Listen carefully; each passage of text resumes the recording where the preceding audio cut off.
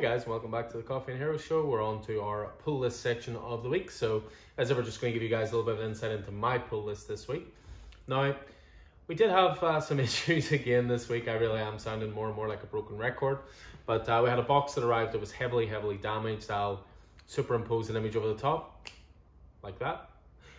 But uh, yeah, it was very much the fault of the delivery company rather than Diamond themselves. And, and in fairness to Diamond, they've been very good with me. They are sending out replacements for titles. It does mean there are a couple of titles that were initially due this week that we do not have because I refuse to sell damaged stock.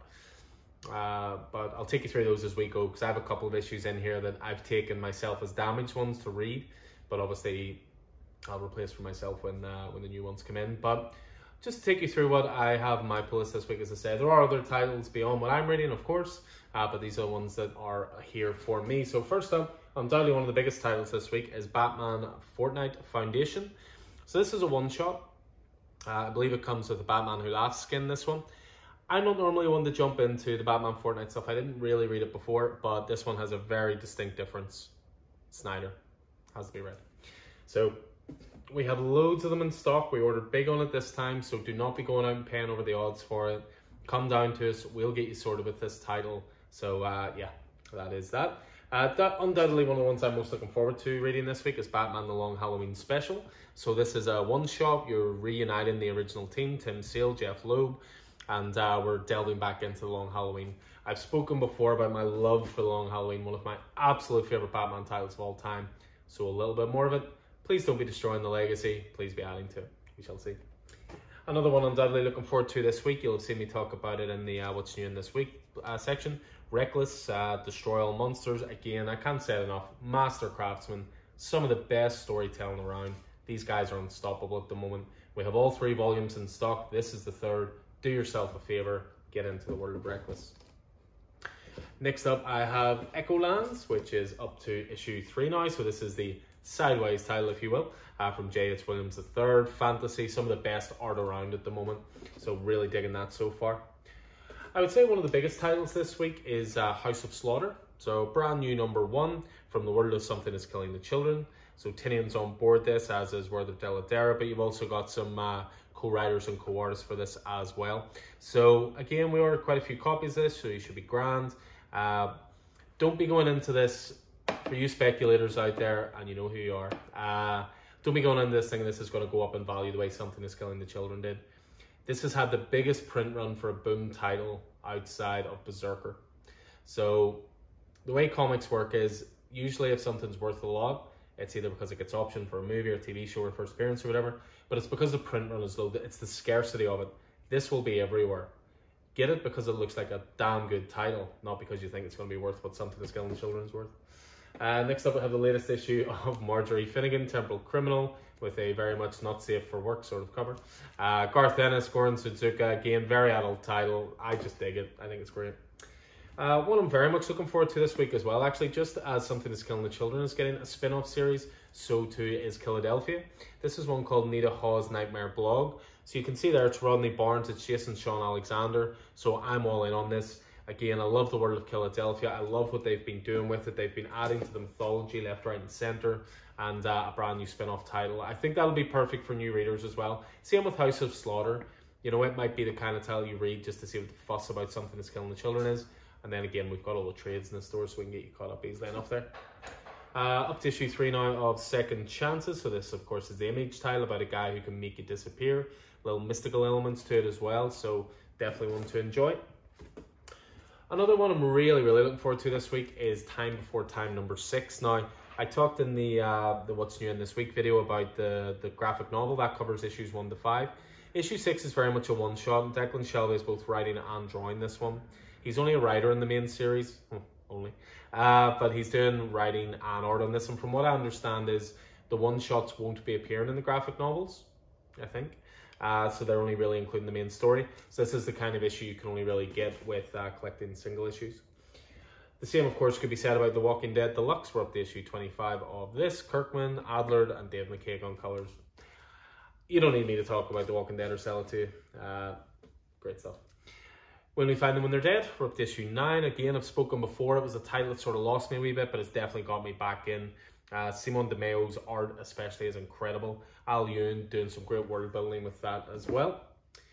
A new one this week as well is Aquaman Green Arrow Deep Target. So this is a, uh, a team up book, which you don't see an awful lot of these days. Outside of Batman Superman, because always. But yeah, this is a new one. And again, looking forward to it. Here it's uh, Romain Clicquot on art, uh, Brandon Thomas writing. So that's going to be a seven issue miniseries. Also new this week is Catwoman number 36. A bit of an odd variant for Catwoman, I have to say, but a bloody gorgeous one. Uh, Catwoman 36 comes with this variant, which is clearly Harley Quinn. Uh, this is Jenny Frison on art. But then again, it is a, uh, a State tie-in, so maybe their paths cross through that. But we've got spares of the, the variant and of the cover A if you're just reading the State stuff. Next issue then of Checkmate, which is the uh, Brian Michael Bendis, Alex Maleev mini-series, uh, continuing the Leviathan stuff that they set up in Event Leviathan. And we're up to issue 5 of that. A couple of cool looking ones this week as well are horror based in the DC universe and their limited series. So what we've got first of all is DC versus Vampires. This is written by James Tynion IV and Matthew Rosenberg with art by Otto Schmidt. So that is a powerhouse team right there. Again, it's going to be a limited series, 12 issues. I suppose think DCeased, but with vampires. What more do you want? Uh, Deathstroke Inc. number two hits this week as well. Joshua Williamson, Howard Porter dug the first issue of this, so hopefully issue two is more of the same. New Detective Comics this week, again, Fear State tie-in. Again, I always collect the variants of this. I don't collect cover A, so it's not a variant sickness. All my variants are over there, but that's not the point. Uh, but I always collect variants, and Lee Bermejo just again knocks them out of the park every single time. Next up, we have new issue of Flash, which again I've been loving. Jeremy Adams on this uh, Dan Harrison on art, and yeah, brilliant stuff. Flash. I've been really digging it ever since uh, Infinite Frontier. Another horror hinge title, you may remember the Hill House line through DC Comics, which was Joe Hill doing his horror line. He had a series called Basket Full of Heads. This is the follow-up to that, which is Refrigerator Full of Heads. So again, limited series horror, I believe it's going to be six issues as well. But in terms of the horror-based ones, this is definitely the one for me this week. Comes with the tagline, Death was just the beginning. Uh, this is Task Force Z. This is written by Matthew Rosenberg, art by Eddy Barrows. I am in on this. This is basically undead versions of loads of uh, DC characters forming a suicide squad, if you will, but it's being led by Red Hood, Jason Todd. This looks awesome. This is definitely top of my pile this week. And again, that's, uh, I believe, going to be a limited series. Uh, next up, we have Wonder Woman Black and Gold number five. This is the anthology series from DC, of course uh, focusing on Wonder Woman with the color scheme of black, white, and gold. So yeah, enjoying that. Uh, what do we got next? We got Amazing Spider-Man up next. We're up to issue 77. So again, this is the, the writer's room approach, if you will. I can see here Kelly Thompson's writing this issue. Looks like Sara Pichelli on art. And again, I've been enjoying the Spider-Man Beyond stuff so far. Next up, we have Black Widow. We are hitting number 12 or Legacy 52, which I find a bit weird. Uh, but yeah, this has been great as well. Kelly Thompson, Elena Casagrande on art. Great spy stuff with that. We've got new Moon Knight this week as well. Jed MacKay, Alessandro Cappuccio. The art is incredible in this. We've got that lovely Steve McNiven artwork on the cover. Moon Knight continues to be a great series. And then I've got a couple of issues at the end here that, again, these were ones that arrived uh, slightly damaged. We've been able to satisfy all pull lists for now. We just don't have a lot of spare copies for the racks. We do have one or two, but not a lot. Uh, but again, we should be getting top ups of these when Diamond send our replacements. So first up, you have uh, Zdarsky continuing with Daredevil, uh, issue 35 of this. Issue 36, of course, will then lead into Devil's Reign. I should say, if you are on Daredevil, let us know if you want Devil's Reign. Devil's Reign is an event coming up from Chip Zdarsky and Marco Checchetto. We don't want to just assume, we never want to just put stuff straight on the people's pull list. Some people have said to us, you know, if it's Batman, put it on. If it's a certain cover artist, put it on. That's fine. But I I firmly believe Devil's Reign is a follow-up to Daredevil, so I think you should read it. But it's also a Marvel event, so I don't want to just assume put it in your pull list because you might just like the main Daredevil title. So let us know. Uh, issue two of Inferno here as well. So Hickman continuing to wind down what he's doing with the the X universe, uh, certainly before he steps away. And then one last one again. These are all damaged ones to say, hence why I'm not bagged and boarded. But uh, just so I can read them, uh, we have Robin number seven. So easily one of DC's best titles. I bang on about it all the time. Joshua Williamson writing, Gleb Melnikov on art, and yeah, I might just start doing this. Okay. Uh, Robin number seven. anyway, that's my pull list. As I say, there's there's other titles beyond that in this week that you know I'm not on.